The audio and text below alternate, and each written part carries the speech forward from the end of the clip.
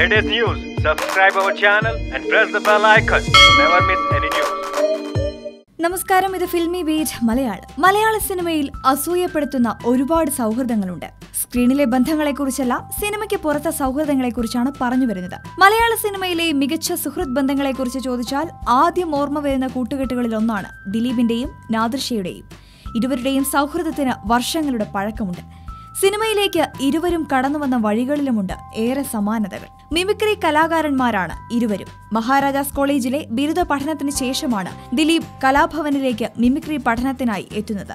അവിടെ ദിലീപിനെ കൈപിടിച്ചുയർത്തിയത് നാദൃശ്യാണ്. ഇരുവരും ചേർന്ന് ആരംഭിച്ച ദേ മാവേലി കൊമ്പത്ത് എന്ന ഓഡിയോ പരിപാടി ഇരുവരെയും മിമിക്രി രംഗത്തെ ശ്രദ്ധേയരാക്കി. എല്ലാ ഓണത്തിനും പ്രേക്ഷകർ കാത്തിരുന്ന ഒരു ചിരിവിരുന്നായിരുന്നു ദേ മാവേലി കൊമ്പത്ത്. ഈ ഓഡിയോ കാസറ്റിന്റെ പതിനഞ്ചോളം ഭാഗങ്ങൾ പ്രേക്ഷകരിലേക്കെത്തി. പരിപാടിയിൽ മാവേലിക്ക് ശബ്ദം നൽകിയതും ദിലീപായിരുന്നു. കലാഭവനിൽ നിന്നാണ് മിമിക്രിയിൽ ദിലീപിന്റെ ഔദ്യോഗിക കരിയർ ആരംഭിക്കുന്നത്. പ്രായം കൊണ്ട സീനിയർ ദിലീപാണെങ്കിലും മിമിക്രിയിൽ നാദൃശ്യാണ് സീനിയർ. പാട്ടെഴുത്തും തിരക്കഥയെഴുത്തുമൊക്കെയായി നാദർഷയ്ക്ക് കലാഭവനിൽ വ്യക്തമായ സ്ഥാനമുണ്ടായിരുന്നു. ആയിരത്തി തൊള്ളായിരത്തി തൊണ്ണൂറ്റിയൊന്നിൽ ഉള്ളടക്കം എന്ന ചിത്രത്തിൽ കമലിന്റെ സംവിധാന സഹായിയായിട്ടായിരുന്നു ദിലീപിന്റെ സിനിമാ ജീവിതം തുടങ്ങുന്നത്. തൊട്ടടുത്ത വർഷം കാസർഗോഡ് കാതർഭായി എന്ന ചിത്രത്തിലൂടെ നാദർഷായും സിനിമയിലെത്തി. സിനിമയിലെ ദിലീപിന്റെ വളർച്ച പെട്ടെന്നായിരുന്നു. സഹതാരം എന്ന റോളിൽ നിന്ന് നായകവേഷത്തിലേക്ക് ദിലീപ് ചേക്കേറിയതും വളരെ പെട്ടെന്നായിരുന്നു. അപ്പോഴും സിനിമയിൽ ചെറിയ ചെറിയ വേഷങ്ങളിൽ ഒതുങ്ങി നിൽക്കുകയായിരുന്നു നാദർഷ ഒട്ടേറെ ചിത്രങ്ങളിൽ ഇരുവരും ഒന്നിച്ച് അഭിനയിച്ചു. മിമിക്രിയിൽ നിന്ന് സിനിമയിലേക്ക് എത്തിയപ്പോഴും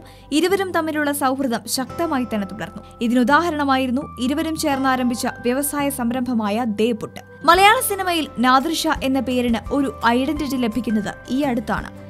അമർ അക്ബർ അന്തോണി എന്ന ചിത്രത്തിന്റെ സംവിധായകനായിട്ടായിരുന്നു നാദർഷായുടെ ചുവടുമാറ്റം. നാദർഷ ആദ്യമായി സംവിധാനം ചെയ്യുമ്പോൾ ദിലീപ് നായകനാകുമെന്നായിരുന്നു എല്ലാവരും കരുതിയത്. എന്നാൽ അതിന് വിപരീതമായി പൃഥ്വിരാജ് ഇന്ദ്രജിത് ജയസൂര്യ എന്നിവരാണ് ചിത്രത്തിൽ കേന്ദ്ര കഥാപാത്രങ്ങളായി എത്തിയത്. എന്നാൽ തൊട്ടടുത്ത ചിത്രത്തിൽ നാദർഷ ആ പരാതി തിരുത്തി. സ്ക്രീനിലല്ല സ്ക്രീനിന് പുറത്ത്.